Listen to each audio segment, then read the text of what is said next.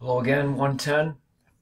In this particular video, I'm going to go over the terms for Chapter 6, the Presidency. And with all of these defined terms, you should be able to answer the questions from the syllabus and the block that we are in right now for September 25th through October the 1st.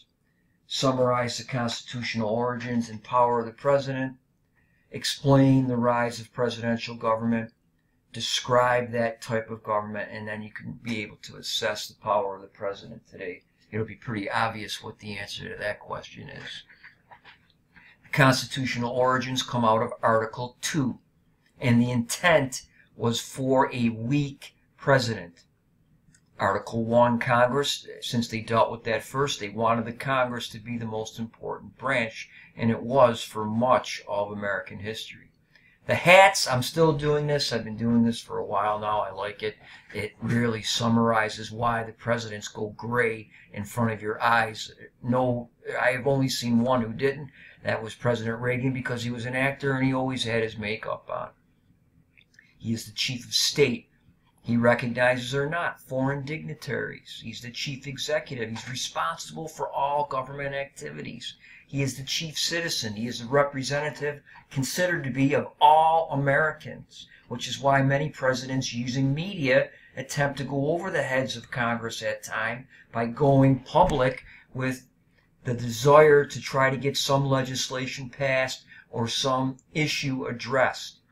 He's commander in chief. We have a civilian head of the armed forces. It's not the generals, it's not the admirals. The president is the head of the armed forces. He is the chief administrator. He runs the government. And as chief legislator, he proposes a yearly budget, and those two, the administrator and legislator, go hand in hand. He is the chief diplomat. He negotiates with foreign countries with the check applied by the Senate over any treaties that have been made or over any ambassadors that are appointed to foreign countries. And the last and least effective hat that is worn by the president is he is the head of the political party. Most politics is locally controlled or state controlled. Uh, the 22nd Amendment, the Republicans gained control of the Congress again in the early 50s, and the first thing they did was pass this as a way of getting back at the Democrats and FDR. They had been out of power for a generation, and it limited the president to two terms and 10 years maximum service. You can be elected twice only, but you can also serve two years of somebody else's term. The Electoral College usually mirrors congressional representation. It's based on the census that's done every 10 years. It actually elects the president. It meets after the general election in November. They meet in December and they cast their vote. They usually follow the popular vote, but occasionally there are votes as trustees. Because, again, this is a check on the popular vote, and they didn't expect the general public to be able to choose wisely in 1789. The 25th Amendment establishes succession to the presidency out to all of those different cabinet positions. It's established now. That came about in the aftermath of the Kennedy assassination, and it was adopted in 1967.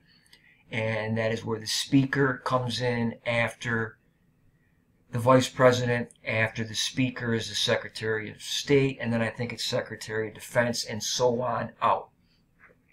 Impeachment has been done by the House twice with Andrew Johnson in 1868 and with William Jefferson Clinton in 18 or in 1997, 98.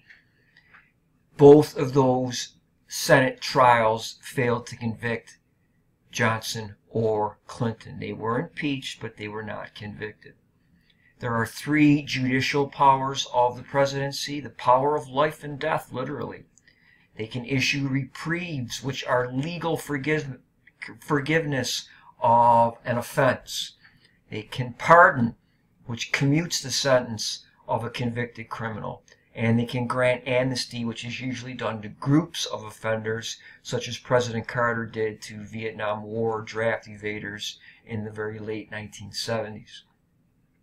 Legislative powers power of veto, pocket veto, which is used at the end of a legislative session. We've already talked about some of that. And the line item veto is what every president would like to see implemented. That's going to require a constitutional amendment. State governors have this today. In the late 1990s, for a time, until the Supreme Court invalidated it, President Clinton had the line item veto, and it might be a reason why they were able to balance some budgets by the end of the 1990s.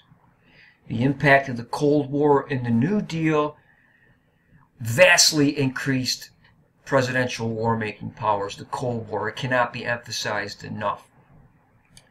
And this is where many executive action wars, such as Vietnam, were engaged in because it was believed that we had to do something quickly and we can't wait to convene all the members of Congress, get all of their input on something.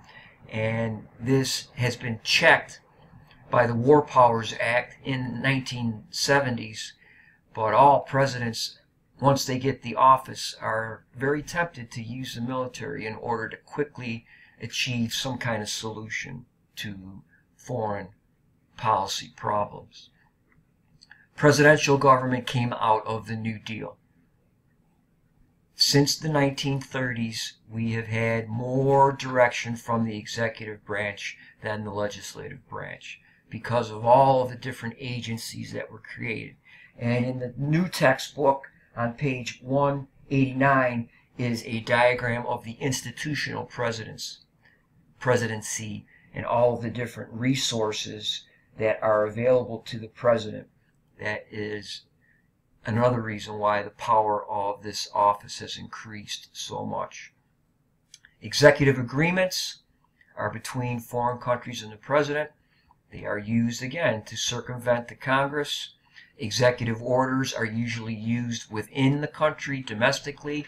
It's the rule that has the effect of law. It's a chief executive officer tool. And if the Congress doesn't like the order, then pass another law which they have the option to do. And that concludes all of the definitions for this particular chapter.